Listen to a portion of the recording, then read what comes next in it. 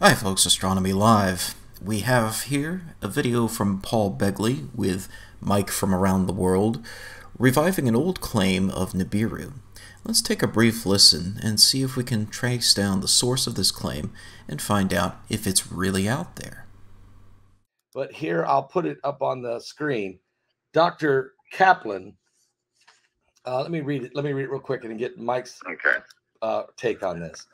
Dr. Kaplan, from a professor from uh, in Texas, from Austin, Texas, the University of Texas at Austin, identifying himself on the Hal Turner radio show, made the statement. He said, "We have discovered an alien planet. It is in it exists and it is inbound toward Earth, not to hit the Earth, but headed in this direction. It is an alien planet, quite large. We've seen it on a 2.7 meter Harlan J. Smith telescope at the McDonald Observatory in Austin or in Texas. Uh, and we found it on January 26, 2014, at about 10 p.m. Texas time. He said, It is coming from the back behind the sun and it is headed in this direction. It is a planet sized object and it will be at Earth by August of 2022. Uh, but we will experience, apparently, say we'll experience what we'll experience from it will be worse after 20 August 2022. That actually it's going to affect us worse in 2023. So, Okay, I'm going to cut straight to the chase and give you the spoilers on this. Paul Begley is referring to an old debunked hoax video from 2014, which was created as a joke by someone who was at the time a student, Kyle Kaplan, who was recording images with the Harlan J. Smith telescope of a planetary nebula known as NGC 1501. Late that night, as he's recording those images, he starts creating this hoax video showing the guide star that the telescope was using, claiming that it was Nibiru, and pretending to be abducted at the end of the video. Now, this computer here is the guide camera. This is what actually causes the telescope to track. Now here you're actually seeing the planet Nibiru. This is probably some of the best footage you will probably ever see on the internet of the planet Nibiru. Now as it gets closer to the Earth, it will actually appear to grow in size. So if I come back, say, a month later, it might be, you know, right now it looks like that, but it might be that big. So we're actually pretty zoomed in here. This is a field of view that's about, oh, 120 by 120 arc seconds. If you actually watched the whole original video, it was very obvious in several places that this was a hoax. For example, he pretended to receive an email from the director who was warning him to stop pointing it at Nibiru. In fact, if you looked at the header of the email, it was visible right there that it was from him to himself. And at the end of the video, when he pretends to be abducted, he actually chuckles a little bit as he pretends to be hauled away by the men in black. Hello?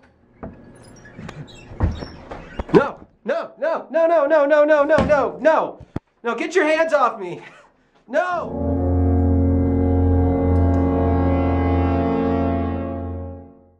So, no one who watched the original video in its entirety would have taken it seriously if they bothered to look at these details. But some hoax proponents and scam artists trimmed parts of the video that gave it away as a hoax and re uploaded it, pretending that it was actually a serious whistleblower. Here's a screenshot of one conspiracy blog discussing this back in 2014 and trying to make excuses for the fact that they trimmed the parts of the video that actually gave away the fact that it was a hoax. They say that they deliberately only used the video in part to fall under fair use. That's true that using the portion of the video that is relevant to discussion is essential for fair use, but they conveniently trimmed the parts of the video that gave it away as a hoax. Now, you can't tell me that they didn't realize that and that that decision was not deliberate. That decision was made so that they could continue to farm it for views and create fear in people who would think that it was actually a real whistleblower. They then also tried to excuse the fact that Kyle later came forward and retracted the video as a hoax. Which is rather interesting because if they watch the original video, the story is supposedly that he was hauled away and never to be seen from again at the end of that video. Yet here he is on my friend Daz the Cameraman's channel being interviewed and coming out to retract the video as a hoax. We've got a guest on the video right here, and this is Professor Kaplan from the YouTube video that we just watched.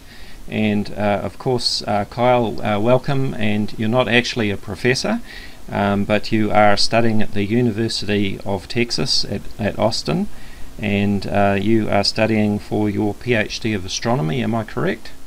Yes. And yes. Just tell us a little bit more about uh, your studies there, Kyle. So I am a third year graduate student here, and I am currently studying planetary nebula, which are the which is a, a cloud that sort of is around the dead core of a star. So when a star like our sun dies, the outer layers of it puff off and make these beautiful looking nebula. Now they're not really planets. That's just sort of an archaic name. Right. But, so um, now you uploaded this video, which has caused quite a stir online. A lot of people have grabbed your video and have been uploading it to their YouTube channels.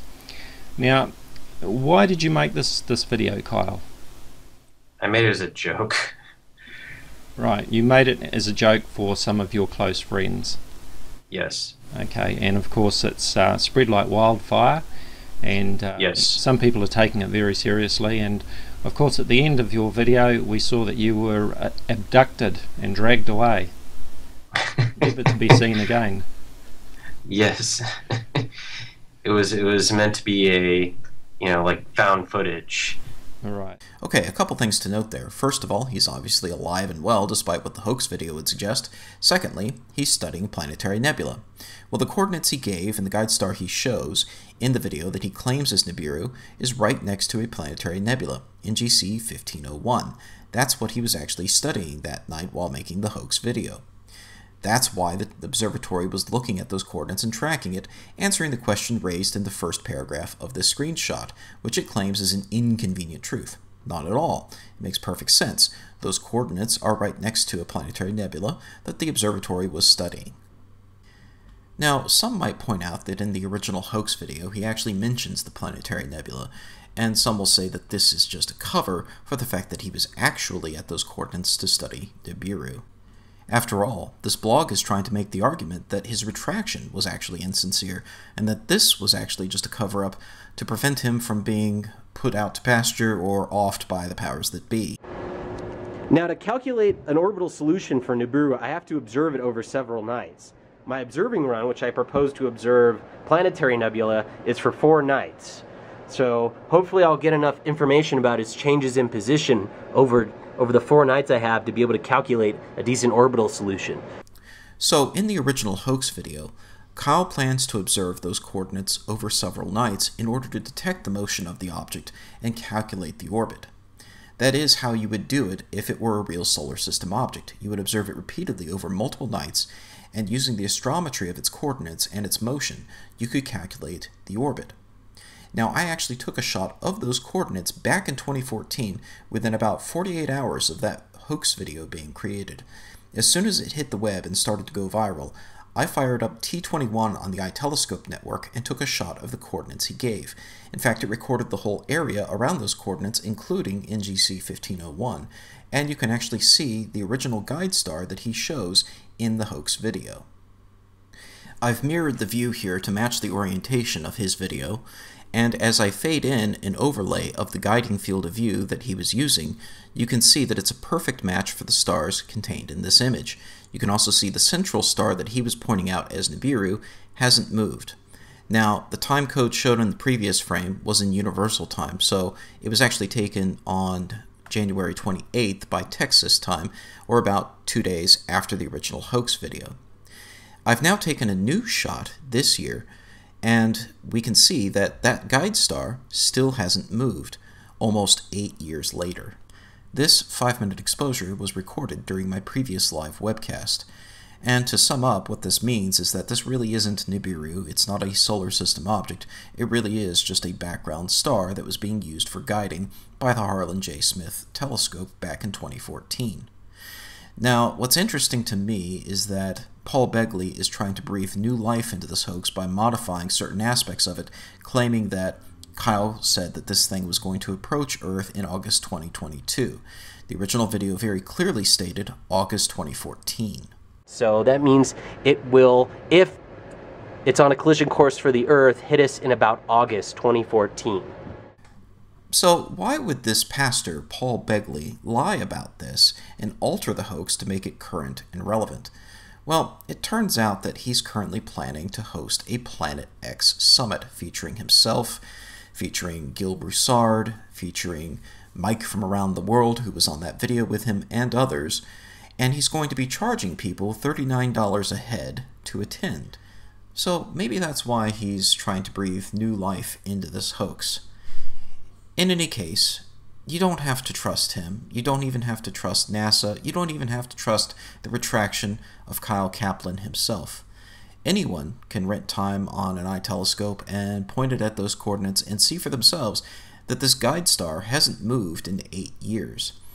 There's nothing preventing you from investigating this yourself, and I encourage you to do your own research. And don't trust so called gurus who are charging you $39 to hear their spiel about Planet X and the approach of Nibiru and the doomsday it will supposedly bring this year. Till next time, thanks for watching, and clear skies, folks.